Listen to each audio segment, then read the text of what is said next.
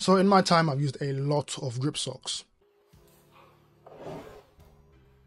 So here are my three favorite. At number three, we have the OGs of the grip sock game, Trusox. They've pretty much been the blueprint for a lot of brands. They've got grips on the inside and the outside of the socks for you get the double underfoot traction.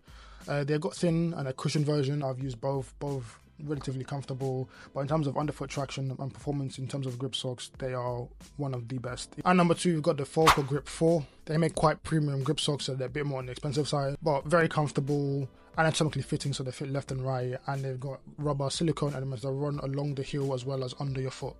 And at number one we have a niche brand my favorite which i found about them this year and that is wefoot wefoot are a korean brand and they're used by many korean footballers including Heung-min Son. And in terms of grip socks they pretty much do everything. So they've got grips on the inside and the outside of the sock they're anatomically fitting left and right. They've got a cushion version and a light version. I use both which are both excellent and they've got diamond compression